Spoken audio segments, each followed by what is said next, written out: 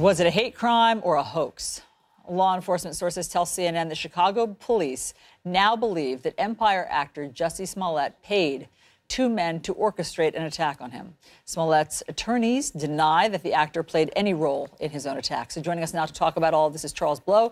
He's an opinion columnist for the New York Times, and Brian Stelter. He's CNN's chief media correspondent. Great to have both of you here. Brian, I remember in the hours right after this happened Yeah. that CNN, that our bosses were, were advising to pump the brakes a little bit because there were some things already that didn't add up. I was frankly surprised how many people jumped uh, on board to side with Jussie Smollett before there were photos, before there Right. were police statements, before all that stuff. And so, how do you think this all? Uh, what was the trajectory of how this went wrong? Yeah, the headline was so sensational and so disturbing. It first came out on TMZ. Not only that Smollett said he'd been attacked, but that the atta- attacker said, This is MAGA country. Obviously, Chicago at 2 in the morning is not MAGA country, so that didn't make sense in the first place. Lots of parts of this story didn't make sense. But activists, actors, Hollywood celebrities, friends of Smollett, Democratic presidential candidates, they all wanted to sound like they were doing the right thing, saying the right thing, standing up for a victim. There's an inherent tension in this story between uh, wanting and needing to believe victims and yet knowing that people can take advantage of that, taking advantage of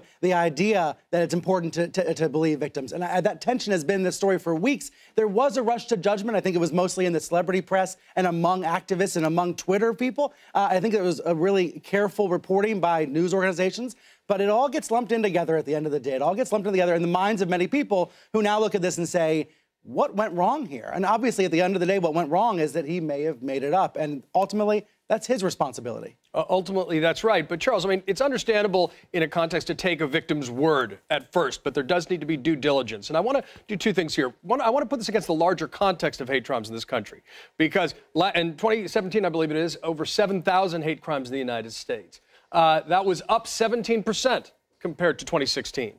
So it's important to keep that in mind as we confront uh, the possibility that this was a hoax. And, and it's not the only hoax of this kind of nature we've seen. We saw the UVA uh, reporting around what Rolling Stone did, uh, questions, stories out of the Air Force Academy, St. Olaf College. Um, so this is not undiscovered territory, but it raised the question against the backdrop of this being a real problem in the country.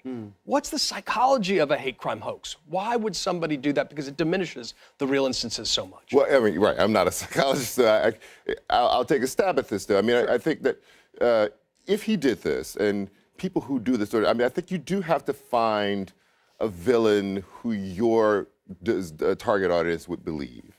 And I think that in this case, if this is true, it was very believable that a gay man who could be gay bashing. The, the, if you take the celebrity out of this, and if you dig down into your hate crime numbers, it is even more stark among people who are queer in this country.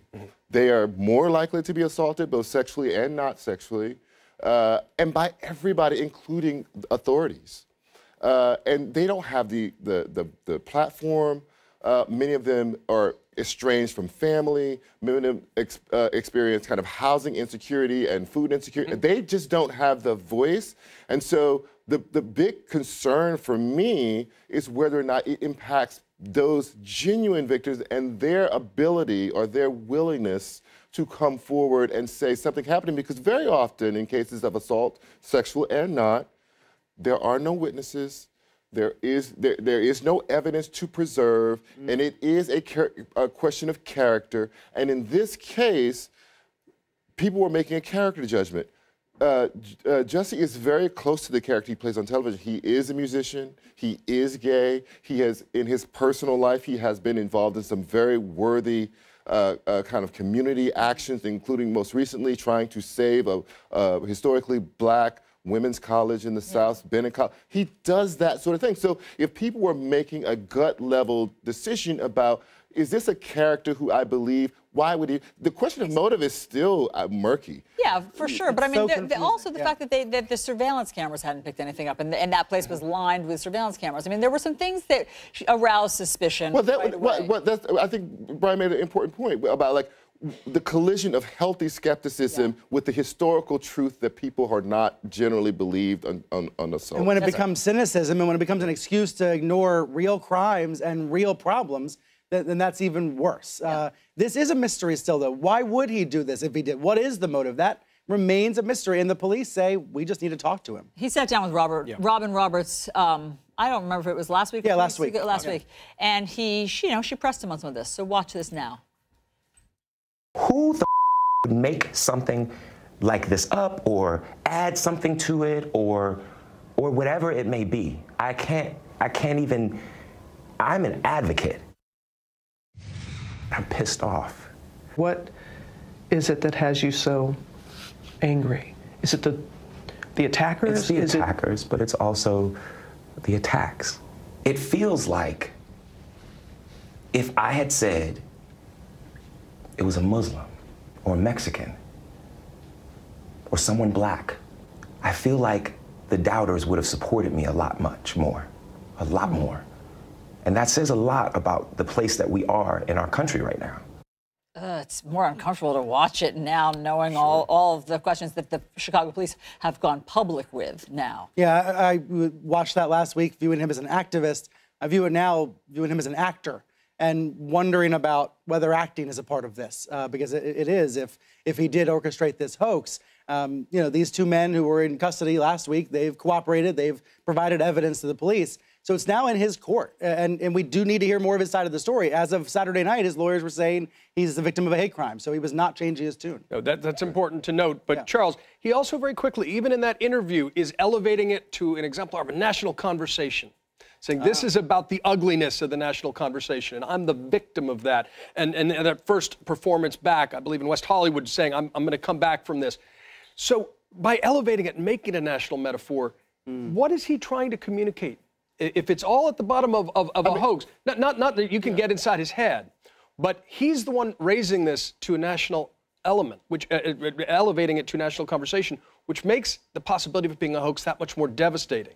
Well, listen, if Jussie has done what the Chicago police say he has done, it's not just that he's an actor, Brian. This is an insane person. This is this is a psychopath. Like, and and and there's nothing in his history that suggests that he's a psychopath. But why So that, that- that is why it's so hard for everybody to. It, that's why people are waiting, trying to figure out, like, please go back and interview him, uh, Chicago PD. But we need to understand what what's the motive because nothing. I met him one time. He was the sweetest. It was just in passing at the at, at Essence Fest, and I was with a, a, a, a, girl I went to college with. She's a big fan, and he she had to have a picture. He was the most gracious person, and I think that that's the the kind of feeling that people have about him. So if you did this. We need to know, like, are you crazy? Like, are you, did you literally like lose it, or because nothing is adding up about why he hmm. would do this? Well, one thing's for certain this story is not over yet.